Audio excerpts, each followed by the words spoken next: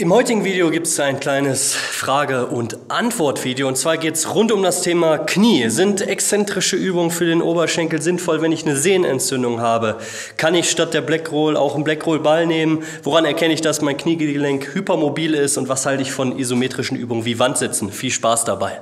Hallo, schön, dass du wieder eingeschaltet hast. Mein Name ist Luke Brandenburg, Medical Fitness Trainer. Und herzlich willkommen zu diesem kleinen Frage- und Antwort-Video rund ums Thema Knie. Und ähm, ja, legen wir auch einfach los. Die erste Frage für heute von Hewart Miraki, ich hoffe, ich spreche das jetzt hier richtig aus, ähm, spricht irgendetwas dagegen, sein Quadrizeps äh, mit einem Blackroll Ball zu mobilisieren?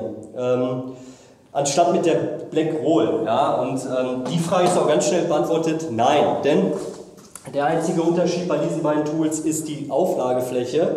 Somit ist der Ball mit einer kleineren Auflagefläche, der geht härter ins Gewebe. Ja? Einzige Kontraindikation, sag ich mal, hier ist, wenn der Muskel am Anfang zu verspannt ist. Ja? Ihr werdet, das ist sozusagen eine Übungsskalierung. Einfach schwer. Ja? Und ähm, ihr könnt das auch einfach ein bisschen angenehmer machen, wenn ihr merkt, boah, da bin ich echt zu äh, hart, äh, indem ihr ein Küchentuch äh, über den Ball legt oder ein Kissen. Ja? Ähm, und äh, woran merke ich, wenn die Übung für mich zu hart ist? Ich mache es bei meinen Kunden immer ganz einfach. Ja, ich male es euch mal kurz an. Schmerzskala, ja, 10, 1, ja, äh, und hier ist so alles in Ordnung, ich merke nichts. Ja. Hier ist so, äh, ich sag mal, angenehme Massage, ja, so bei einer 3.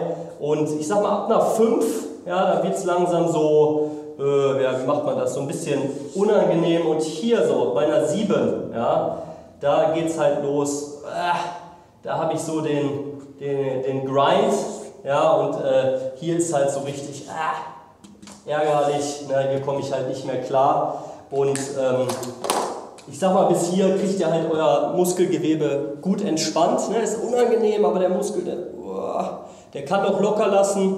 Und Problematisch wird es halt hier, ja, da manchmal so ein Blitzpfeil, weil da ist es so schmerzhaft, dass ihr halt den Muskel nicht mehr entspannen könnt.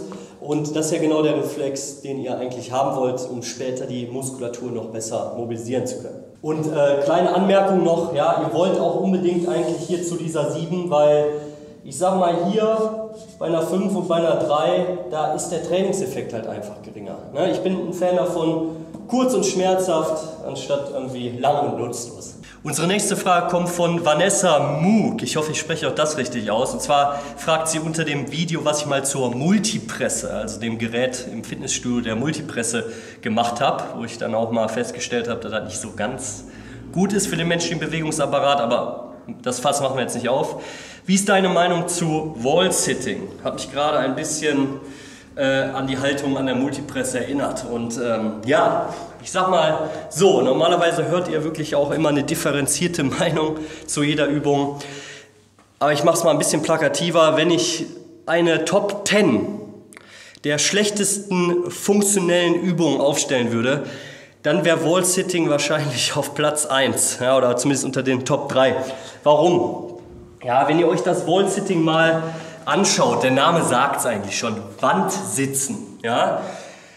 Das ist ja speziell eine Übung, die hier den, auch wieder den Rectus femoris trifft, ja? und zwar in einer fast vollständig, also ihr habt wieder diese sitzende Position, die eh für eine Fehlspannung dieses Muskels sorgt und dann trainiert ihr diesen Muskel in dieser Position auch noch. Ihr überlastet ihn, überlädt ihn in dieser Position, ja? was halt zu massiven Spannungen und Defiziten hier... Oh, in der Hüftstreckung führt, gerade bei Athleten.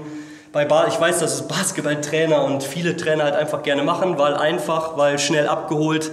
Trainingseffekt ist da, sorgt allerdings für eine ganze Reihe an Verletzungen und ist auf lange Sicht auf jeden Fall eine Übung, die ich komplett aus deinem Plan, Vanessa, und auch für jeden anderen, der das Video sieht, rausschmeißen würde. So, etwas ungewöhnliche Location hier, mein Zimmer, denn ich sitze gerade am Videoschnitt äh, zu diesem Video hier und im, ich habe mich jetzt doch entschieden, das QA in zwei Teile aufzuteilen. Das war jetzt Teil 1 und im zweiten Teil geht es dann speziell um die Thematik exzentrisches Training bei Sehnenüberlastung, speziell nochmal zum Thema Patellasehnen, Spitzensyndrom, Kniesehnenentzündung. Und ähm, ja, wenn euch das Video gefallen hat, Daumen hoch. Vergesst nicht zu abonnieren und den Weg zu mir findet ihr wie immer über die Videobeschreibung und wir sehen uns spätestens im nächsten Video. Bis dahin, ciao.